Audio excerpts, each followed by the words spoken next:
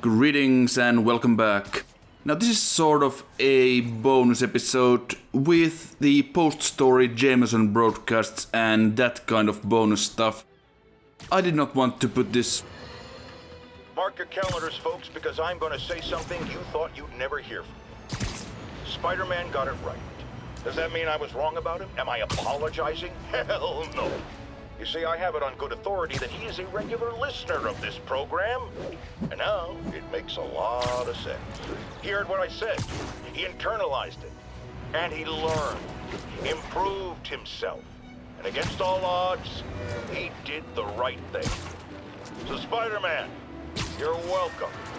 However, don't think I'm going to go easy on Spider-Man from here on out.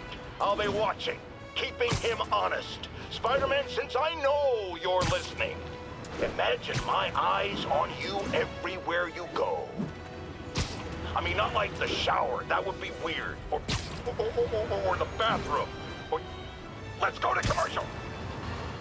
Yeah, I did not want to put this in the story final episode because Folks, I'm hearing a lot of praise for Spider-Man lately, and I'm not saying it's entirely unwarranted. He did listen to me after all, and did the right thing in the end. But dial it back, will ya? I can tell it's going to his head. Look at it. The wisecracking, the grandstanding, swinging around the city like he owns it. This is not his city, it's mine. I mean ours. because there is still quite a bit of this stuff.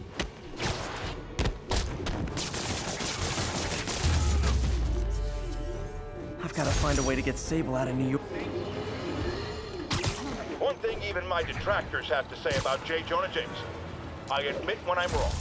And while I hoped his efforts in the recent crisis meant Spider-Man was finally becoming a responsible citizen, a mature adult, I am here to confess I was wrong.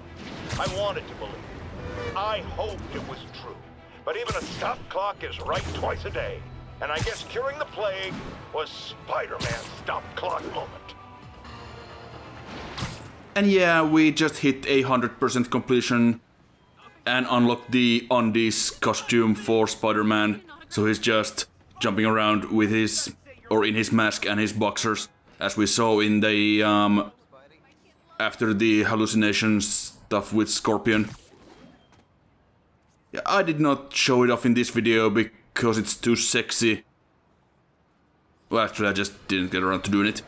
You know, looking at the dark days just behind us, most of the people involved have faced consequences. Otto Octavius is in prison. Mayor Osborn resigned in disgrace. Escapees from Rikers continue to be rounded up. The remaining demons and Wilson Fisk's men are fighting over scraps.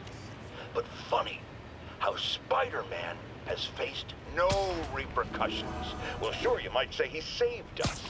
But should saving all our lives really give him a mulligan on his long history of reckless behavior? Tune in after this message for my answer.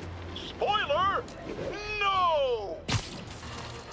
Yeah, for some reason that was actually the only indication the game gives you at the end about what happens to Norman.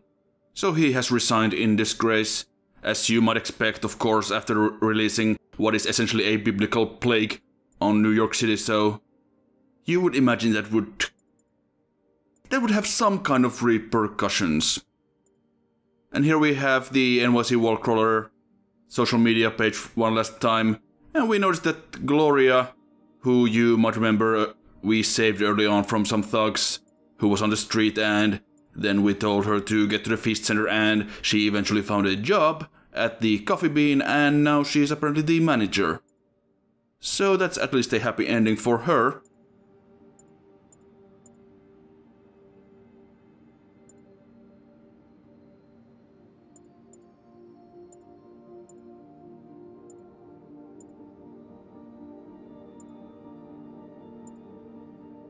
And yeah, what I've been doing here as well is showing off the secret photo ops. I'm not sure if I'm gonna get all of them, but I do end up getting quite a few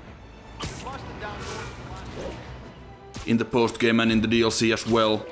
I can't let him hurt that victim anymore.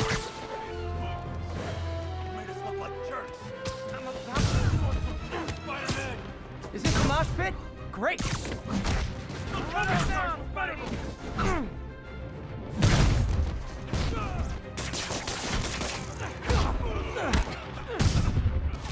Actually this would have been a great opportunity to show off the Undies suit, but we'll get to that at some point. I realize the irony in me saying that. Some people have accused me of being negative, only criticizing, not offering solutions when it comes to Spider-Man. Here's my solution, and it's very simple. Unmask. Join the police academy. Wear a badge. Then you can catch all the crooks you want, and I'll sing your praises on this very show. And all that hogwash about how that would place his loved ones in danger? Come on. You can't convince me that guy has any loved ones.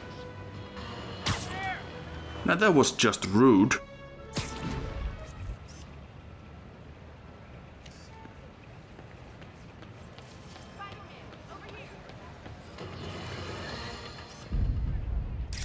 After much listener demand, today I am finally going to answer the question I have posed for many years. Spider-Man, threat or menace? Yes, that's right. It's time. I'm taking a position. And that position is... He's both. Sometimes he's a threatening menace, and sometimes he's a menacing threat. But come on, how you menace someone without also being a threat? And and, and, and, and vice versa. And for those grammar Nazis among you who say I'm being redundant, it's called art. I'm a wordsmith. It's a rhetorical device. And if you don't like it, I'll tell you where you can shove that device.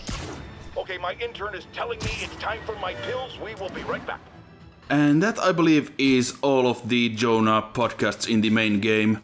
We'll have more in the DLC, of course, as well as, well, in the side quest videos. But there's one more thing that we have to do right now.